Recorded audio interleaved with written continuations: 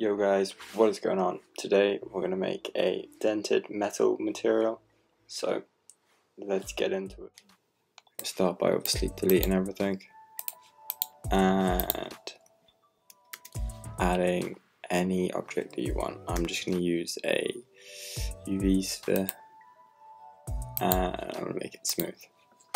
Then let's go over to the shading tab and let's just change a few of these settings.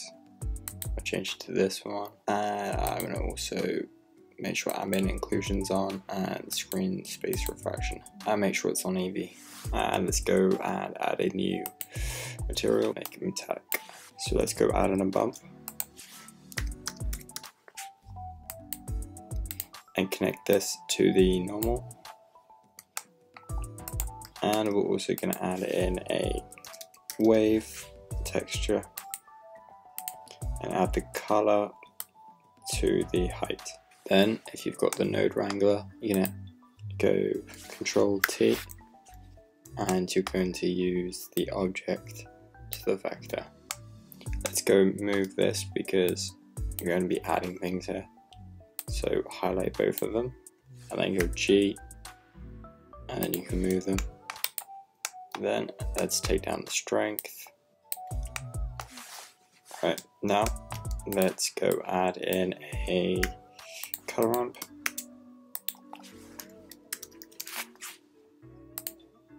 And let's bring up the distortion. As you can see, you get a really dented kind of look. And we'll bring up the scale as well.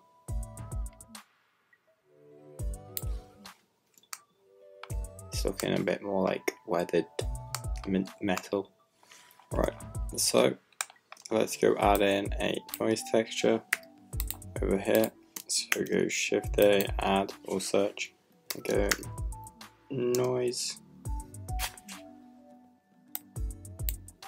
and click it there. And let's go bring this color down. As you see, as you bring the color up, it kind of makes it less hilly. And now select for these and move them out again. Go Shift A, add in a mix RGB and drop them in there.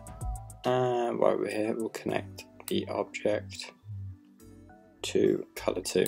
So this mix node, when you bring it to all the way up, it's using, it's going from this texture coordinate all the way, it's like bypassing this noise and then vice versa. So let's just go bring up the detail, bring that all the way up to 16 and we'll keep the scale at 5 and let's bring this down a bit.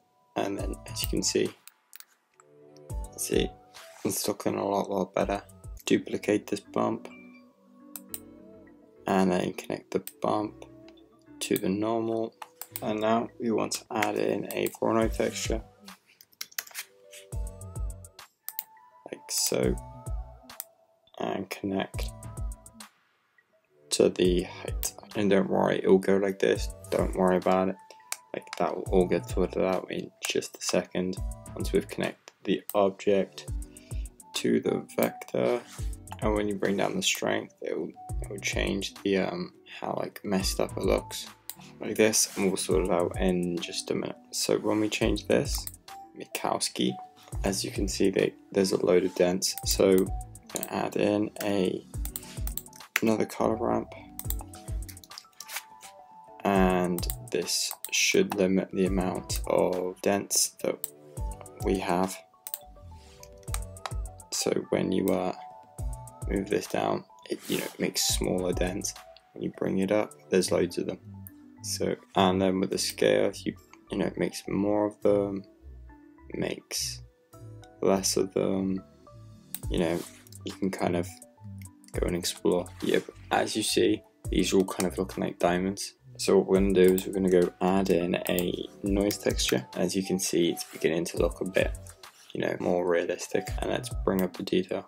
And let's go add in a mix RGB and drop them here. And let's get the object to color 2 as you can really see it's beginning to look a lot more realistic. So as you move it up you're getting less realistic and as you're coming back down it's getting more and more and more detailed. And when you play when you play with the strength here it's going to make it a lot more like noticeably dark.